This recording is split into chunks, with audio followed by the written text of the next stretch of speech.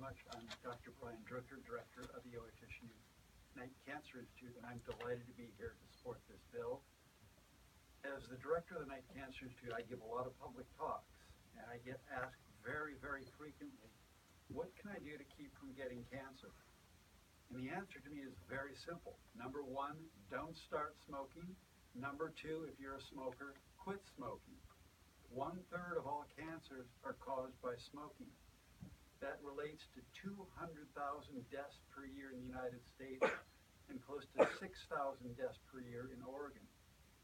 This bill will decrease the number of people that start smoking in our state by about 20%, and that translates into 1,000 lives saved per year. When I became the director of the Knight Cancer Institute, I pledged to do everything I could to lower the death rate from cancer in our state to the lowest in the country, and this is something that will help. We know that a critical period of time where young people get addicted to nicotine products is the 18 to 21 period. And if we can delay by even a couple of years, the numbers of, of young people who become addicted will, will be decreased, and hopefully that saves lives.